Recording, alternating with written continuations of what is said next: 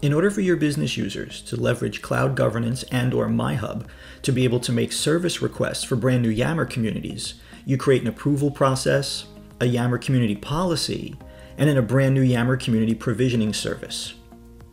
But what about all of your existing Yammer communities? What if you want to bring them into cloud governance to be able to apply similar policies and settings? To do that, log on to Cloud Governance, and on the Settings page in the Workspace category, locate and click on Import Existing Microsoft 365 Objects.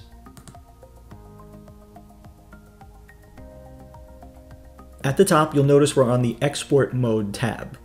The Export Mode and Import Mode tabs work together. First, you have to export all of your existing Yammer communities. Then you fill information out on a spreadsheet based on how to pull those into cloud governance. Then you come back in and you import it.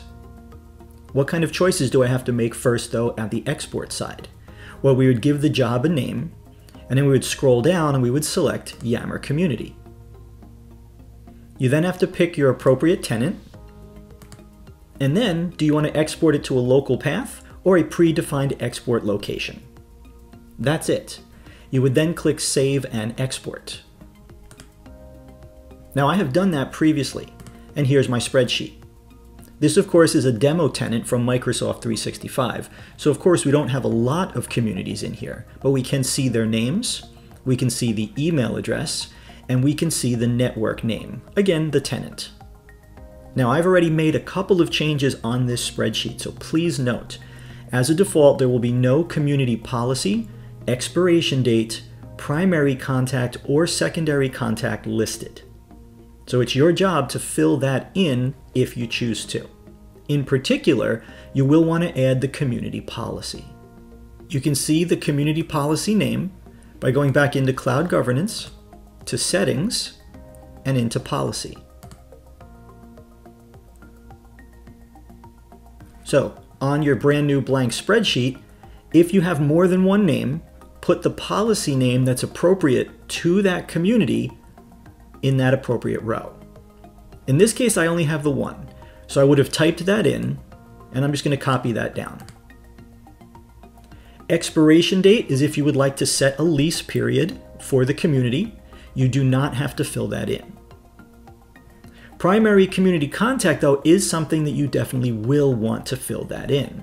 You can see here I've mixed up a few different sample users, but essentially, who is the contact for that specific community? The reason why this is important is because tasks generated around that community will typically go to the contact. Things like renewals for permissions or metadata if we want to delete the community and a request comes in for that. Who does that stuff typically go to? It goes to the community contact. So the appropriate person should be listed for each. Again, let me emphasize that when you first open this spreadsheet after the export, this will be empty. I have previously filled these in just so we didn't have to include that step here in the video. If you would like a secondary contact, you'll want to fill those in.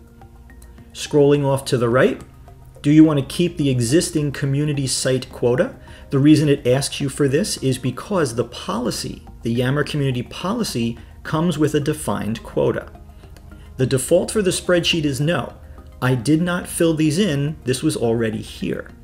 The idea is whatever the existing quota is will be overwritten by the quota as defined over in your policy.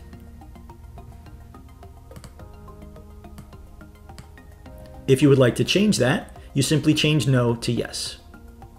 Would you like to deploy the Cloud Governance app into the community's underpinning SharePoint site collection? The default there is none. And then you have a couple of columns for filling in custom metadata that you may have previously defined in Cloud Governance.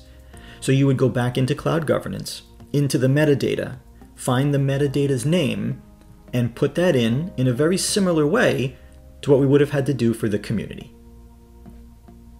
Once I have that all filled out, I can save, and now we can go back into Cloud Governance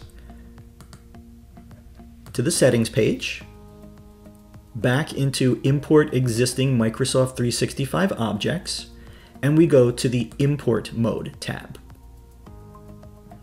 We give the import a name and a description. We tell it what we are importing, and then we browse for our file. Here is where I've saved my file on my local machine. So I select it and click Open. And now, to kick off the import, up at the top, we click Save and Apply. That job will run, and when it completes, your Yammer communities will now be under the oversight of cloud governance. Again, essentially that means that all the settings you put into that policy that you built have now been applied to that community for things like quota, lease period, inactivity threshold, and renewals. Thank you for watching this short video on how to import your Yammer communities into Cloud Governance.